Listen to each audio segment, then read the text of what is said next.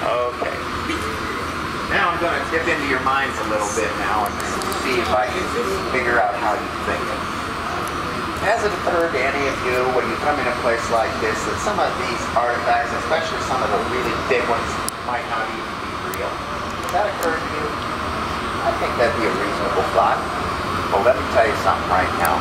Every single airplane in this building is a real airplane that has already flown, all right, except one. That little Wright Brothers replica, 1908 type replica right over there, has not yet flown, but it isn't owned by us.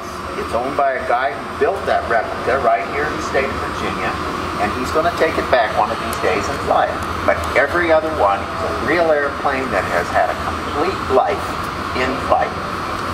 The next question follows naturally. Are they still flyable? Eh, no, that is not our concept. Can you imagine how hard it would be to get one of these out of this building? You'd have to take the building down. You would. How did you get it in? painstakingly, one at a time, in a very carefully choreographed sequence. Okay?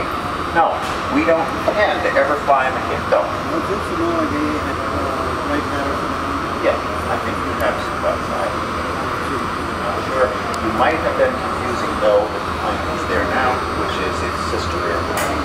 And I'll tell you about that in a minute. Okay, here we go. The plane in front of you is, yes, a real airplane. And yes, it is a B-29. And almost not, not too limited at that, this is the B-29 that dropped the first atomic bomb. It's called Enola Gay. That is the name of the mother of the pilot, Enola Gay Tibbets. He named the plane for her the night before this epic mission of dropping the first atomic bomb. All right. The B-29 was was born in the following way. In the late 1930s, Boeing was delivering the B-17 Strato, uh, oh uh, Flying Fortress to the Army Air Corps. And so they had a good engineering team. This team began to look forward a little bit and say, what if we were challenged to come up with a super bomber, you know, the next generation bomber? What would it be like? So they began to put some ideas on paper, and the Army found out they were doing it, went out to see them in Seattle and liked what they saw. And the Army guys said to them, why don't you just keep working on these concepts and we'll go back home and see if we can get a competition going for a new bomber. So they did, and they dreamed up these three specifications. They said, we're worried about a possible coming war in Europe.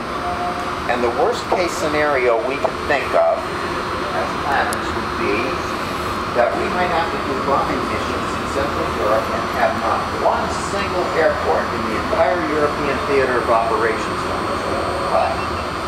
We would have to fly around for bombing missions from places like Iceland, Greenland, Newfoundland, or even farther away, all the way into Central Europe and back. It's far. So they came up with this number. They said, we want you guys to try to design us a plane that can fly for 5,000 miles. What? That's a huge number in those days. It's a huge number in these days for you. All right. Um, beyond that, they said, now the concept will be this. You know how payload works, especially you. Payload is the amount of stuff you can put on the airplane, including crew, passengers, fuel, and bombs. But you can't go above the maximum design gross weight, see? But you can allocate certain parts of payload to different jobs. That is, if you have to take a giant fuel load, you can only take a small weapons load. Vice versa, if you take a giant weapons load, you can only fly a couple hundred miles with a little bit of gas, but that's okay if you only want to go a couple hundred miles. See how that plays? So they said the second specification is on a maximum range bombing mission, 5,000 miles, you have to have enough payload left to carry 2,000 pounds of bombs to the halfway point on the mission. Okay? And the third and last specification was this. They wanted the plane to go 400 miles an hour. Oh, macro.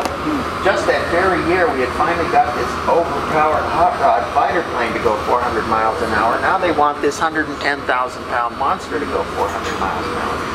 Your lunch. This is going to take a while. See? All right. So they started. the plane became known as the most sophisticated bomber in World War II. I'm going to name for you some of the features that made it that special.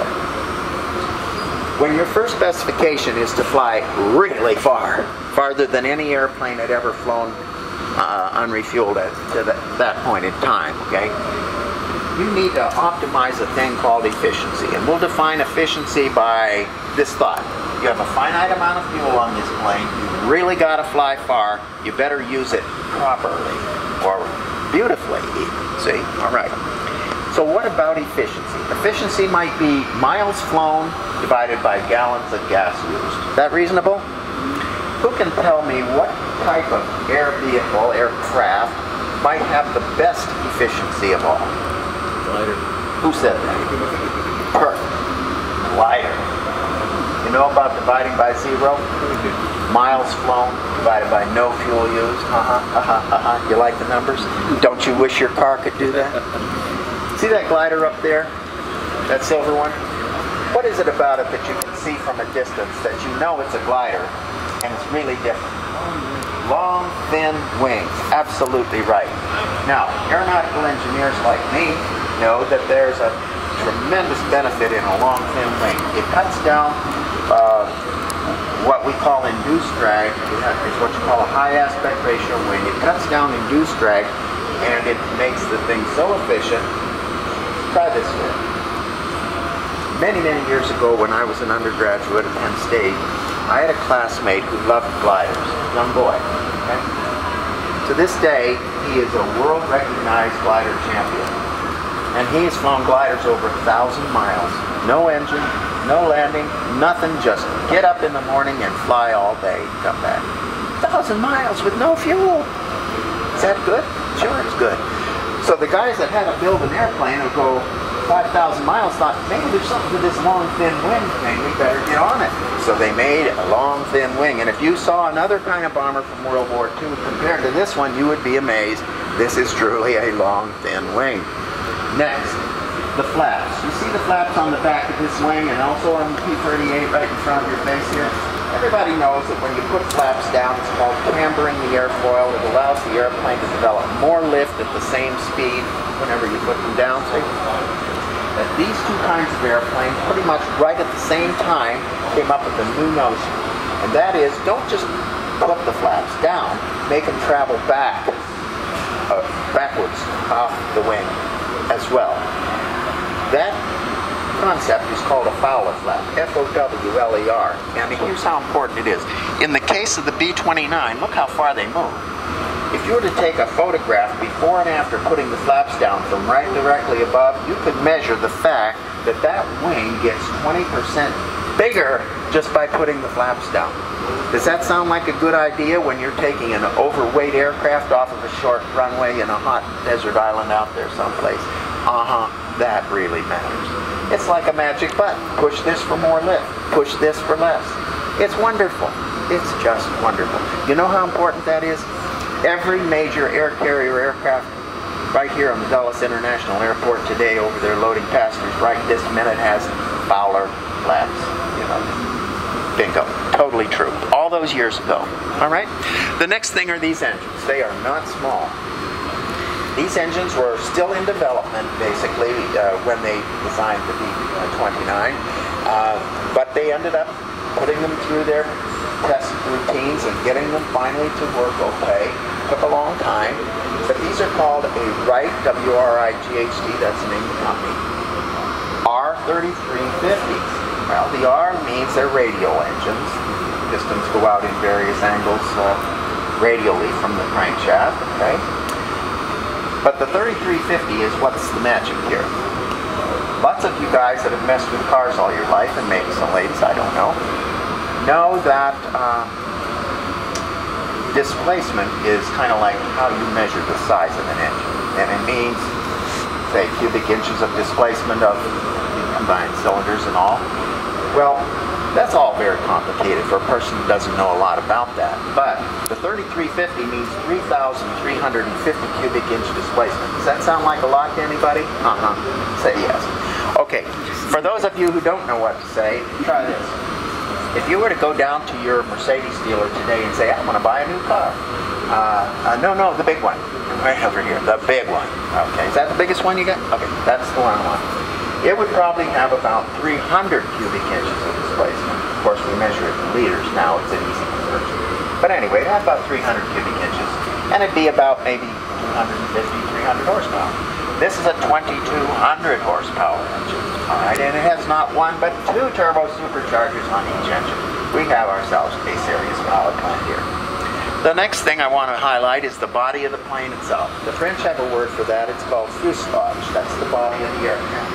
And here, for the first time ever, we have a major heavy bomber that's pressurized. Ah, pressurized. That's nice. What what is that? Let me tell you about that. This plane was designed to fly at 30,000 feet. Who knows what the temperature at 30,000 feet is? 45 below zero, bingo. 45 below zero on a standard day. Would you like to go for a 5,000 mile airplane ride at 45 below zero? Is this the only coat you brought? Don't. You know, when you have an open plane, unpressurized plane like a B-17, you know, they had great big cutouts like this big in the back of the fuselage for guys to stick guns out and shoot. It's 45 below zero air coming in there. Holy mackerel. So they're wearing sheepskin lined leather flight suits from the tip of their boots to the top of their head, including a face mask, with electric heaters inside, and basically all they were was bulky. You know, they, they still were freezing, and now they're trying to run their guns and stuff with these great big grizzly bear suits on, you know, it's just a mess. The next thing is kind of more important, and that is that the human body was designed to work at sea level. You don't just take somebody and plop them up at 30,000 feet and say, have a nice day. There's a few things we must consider here. You know, I like to push this on your head with kind of a shock and awe story that I know firsthand, kind of firsthand, almost firsthand. Um, I know of a case where an Air Force pilot was in a high performance fighter plane and he was to do this zoom mission to extreme altitudes. Now he had a spacesuit on. Now that defends you against the problems of taking the pressure off your body, right? He had this spacesuit on. But anyway, he pulls up like this and he gets up to about almost 60,000 feet and boom, his glove blew off. The suit deflated. He died in the time it would take to say your name. Dead. You can't do that. You can't be at high altitude without pressure on your body. Do you know why? 78% of what we breathe is not oxygen, it's nitrogen. And when the nitrogen gets down into our lungs, it looks around and it says, I could live here. I kind of like it here. And what it does is it dissolves into your blood as a liquid. See? It goes into your bloodstream and it, because of the pressure that's on you, it can exist in a liquid form in your blood. If you take the pressure off your body, the nitrogen kind of thinks like this, physically speaking. It says, I used to be bubbles. I'm going to be bubbles again. Boom! Your entire vascular system is filled with bubbles. How do you think that would work when it gets to your lungs, and your heart, and your brain? You die. You've heard of it, the bends, haven't you? Same kind of thing can happen in flight. Exactly. If you go to extreme altitude, you got problems. I just told you about it. If you go to a medium altitude and have no pressure on your body, the same kind of thing can happen, but it takes a lot longer. Still happen. Okay. All right. The last thing is about breathing. You don't just take somebody and pop them up at 30,000 feet and say, have a nice day. I already told you that. What about your breath? How long has it been since you had a breath? Five seconds? Ten seconds? If you were 30,000 feet without the pressure that you need here at sea level, you would not only need to have some oxygen, everything that goes in your lungs would have to be oxygen. That's called 100% oxygen, not 22% like we have here. 100% oxygen, and it would have to be delivered to your lungs under pressure. It is not fun breathing oxygen for a long time under pressure. I've done it, it's not fun. It's like breathing with someone seated on your chest because the regulator blows your lungs up and you have to force out every breath. See, it's just a mess.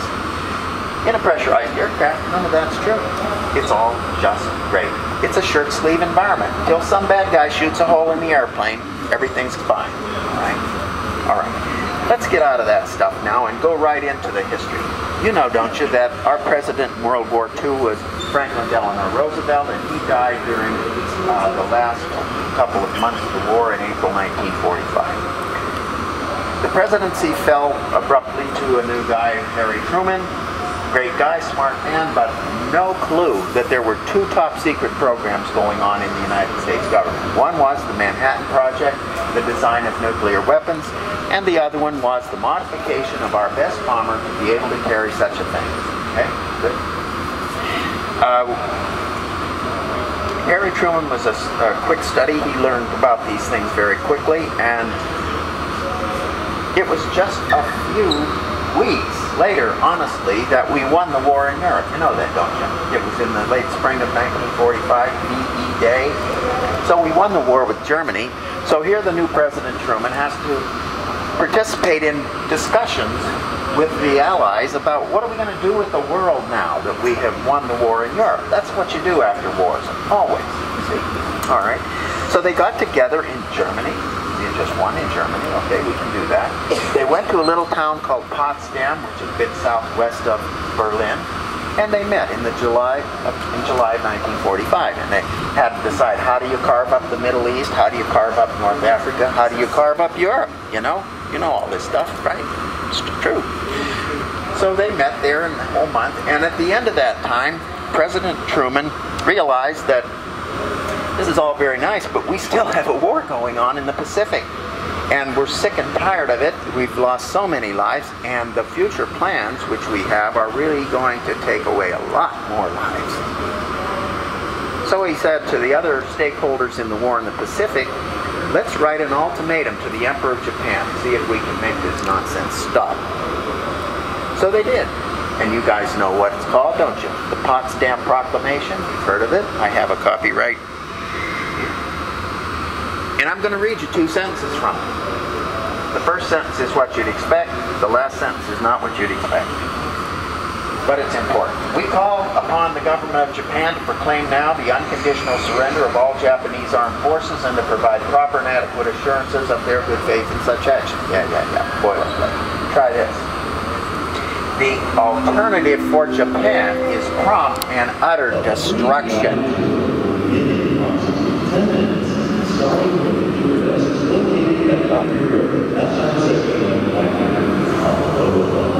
So it's kind of like saying, Mr. Emperor, do you have any idea what we're talking about? No way. No way. Right? You know, whenever there's a big war going on, you've got hawks and doves back home, you've got the people that want to fight to the last man, and you have people that want to give up yesterday. They always do. Japanese had this too. But they also had a cultural problem, and that was they considered their emperor to be like a god. And every person felt that they could they would do anything to avoid embarrassing their emperor.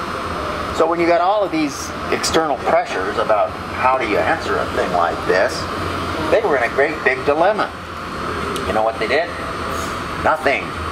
They couldn't come up with an answer. So when you send someone an ultimatum and they don't answer it, guess what? That's an answer. So President Truman decided to tell the people over in an island in the Western Pacific called Tinian, which we had just won back from the Japanese that same year, he, he decided to tell them what those 15 brand new B-29s were doing sitting there. No one on that base had a clue why they were there till then. He also allowed them to know what was in that ship in the lagoon right beside the runways, the USS Indianapolis with a top secret cargo on board. Any ideas? So then, on the night between the 5th and the 6th of August, 70 years ago, plane right there loaded up one nuclear weapon in its forward bomb bay, which is right there.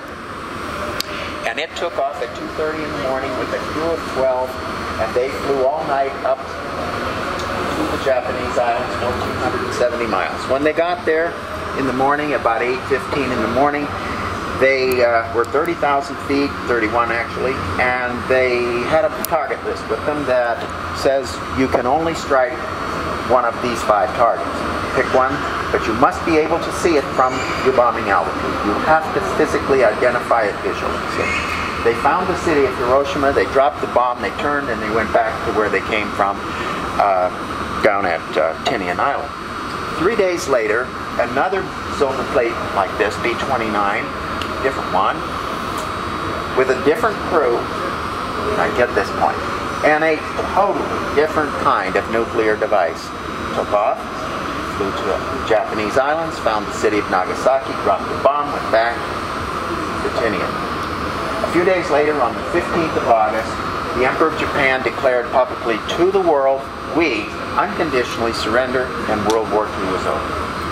Now, just to stick this stuff in your mind a little bit, I'm going to show you these two weapons. This is a full-scale model of the first one. It's called Little Boy for a reason which will become very apparent in the next minute. It was a circular cylinder like these posts right here. It was 28 inches across. It was 10 feet long with the fins in the back. Yes, that's my wife there. Weighed 9,700 pounds and it was a uranium-based device. Okay? Now the reason it was called Little Boy is by comparison to the other one, it was little. The next bomb was not little. It was called Fat Man. How do you like those? Little Boy and Fat Man. Here's the big one. That engine is bigger than one of these engines. It's five feet across. It weighs more than 10,000 pounds, and it is a plutonium-based weapon. No comparison with the first one whatsoever. Different shape, different size, and totally different physics involved in operating that weapon. See? Isn't that kind of bold? In the whole history of aviation history and warfare, we had only dropped one nuclear weapon in combat by then. And here, just three days later, we're sending up an entirely different design. Amazing. Any questions about any of that? What? Have to have contact? I don't know. Um, positive identification, maybe. No, they didn't have great weapons system uh, aids during those years. They did have a radar on it. You can see it right there. But, you know, if, if you've ever tried to operate a radar, you might know that it, it has to be a modern, darn good radar in order to get terrific results. You see, you know the radars. So I think it's just about having a proper radar. Okay.